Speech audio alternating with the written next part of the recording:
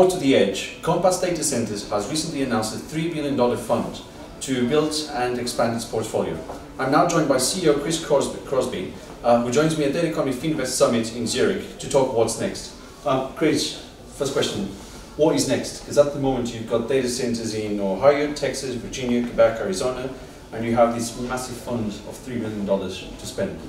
Next for Compass continued growth. Uh, we've got our campuses in, the, in North America uh, that we're continuing to expand on, and we are starting to look into uh, other international expansion. What sort of international expansion? Are we looking into Asia? Mostly into EMEA. All right. So any more information into the Eastern countries?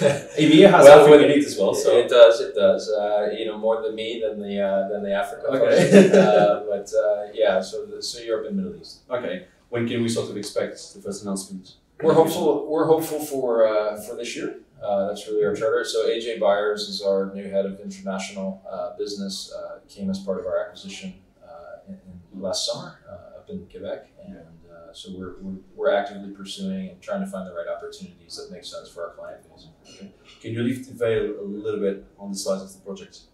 So we're, we are looking at the whole, at, in the wholesale data center space and for the cloud and, and hyperscale type of type of uses. Uh, so it's in the, it's in the multi megawatt type uh, campus type of strategy that we would deploy uh, as we've been deploying successfully in North American markets. Okay, that's quite big. I guess asking you for who the customers are, it's too early. A little too soon. All right. When it comes to investors as well, you've got quite a few good names here. You've got Redbird Capital, Ontario Teachers, Azrieli, which is a newcomer to the market recently. Uh, what are they looking for? What, what's their priorities when they fund a business like yours? Especially because you have a big focus on Edge as well, and Edge is still relatively new, especially for the investment community. Um, what are these guys after? What's the priority? You know, I, I think uh, we've got a great investor base. Um, it, the diversification is fantastic. Uh, you know, I've got board members in London, I've got board members in Tel Aviv, in New York. So, so traveling? Just and you know, it's good perspective. Um, I, you know, our, our goal is to continue to um, you know, deploy efficient as efficient a capital as we can from an investment perspective. Um, we are, we you know, as, as it relates to the edge, uh, the edge is really a opportunity for us that is a, a future opportunity. We'll continue to, to incubate and, and create uh, those types of opportunities over time, but it's really not at a commercialization stage at this point. Okay. And here in Zurich, we've spoken a lot about the edge, but we've also spoken a lot about REITs. Is REITs something that calls for Compass Data Centers in the near future or the long future? The rates? Yeah, becoming a REIT. Uh, so you know, I, I, don't really think so. I, you know, a REIT is really, from a U.S. perspective, is really a tax structure. Um, you do get access to a few investors, but the private capital markets are excellent right now uh, versus the public capital markets. Um, I much prefer the being private, having been a having been an officer before. Um, I do think that the uh, the REIT model, as as we do so much development that we don't have a lot of, uh, you know, we don't have a taxation risk at this point. Um, I think as you look at things, it's really a structuring element as opposed to an investment philosophy, in my opinion. Okay, because we had 350 deals, um, M&A deals and data centers in the last four years. 57% of them were done by by mm-hmm. private equity firms. How do you see this changing, let's say, in the next 12 to 24 months? Because at the moment, what's been said is that there's more money out there. There's, they have more money to invest, and there's places to invest in. Yes. So how do you think the market's going to shift? Are we just going to see companies like yours getting more money? Are we going to see new companies being born? What do you see in the market overall, not just Compass?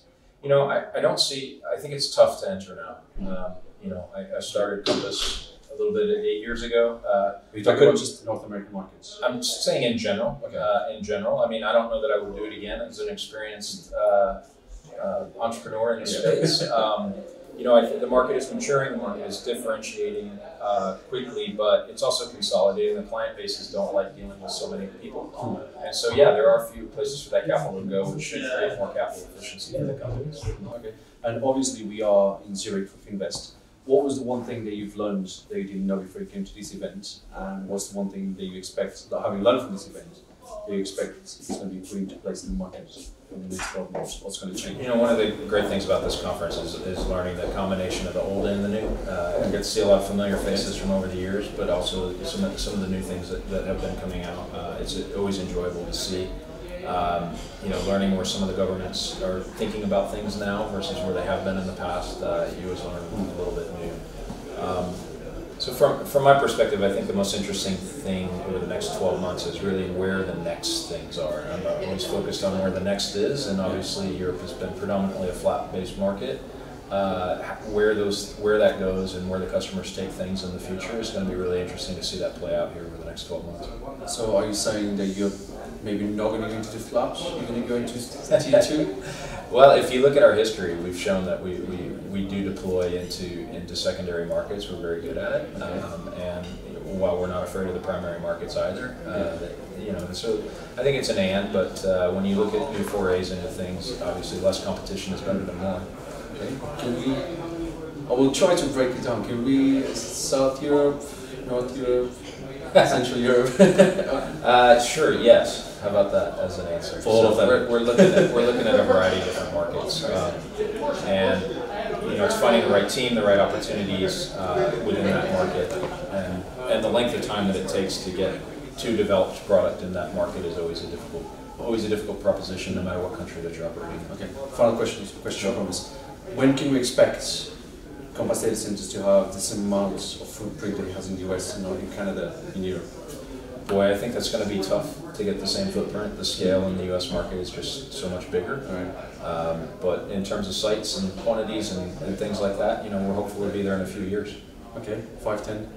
Yeah, I think we're where are we at right now? We've got uh, uh, yeah, yeah, probably twelve. Yeah, All right. That sounds exciting. It's so also should be changes. fun. All right, Chris. Thanks a lot for talking to me. Thanks. Uh, don't forget you can follow Data Economy on Facebook, LinkedIn, Twitter, and Instagram, and also visit the website on www.data-economy.com.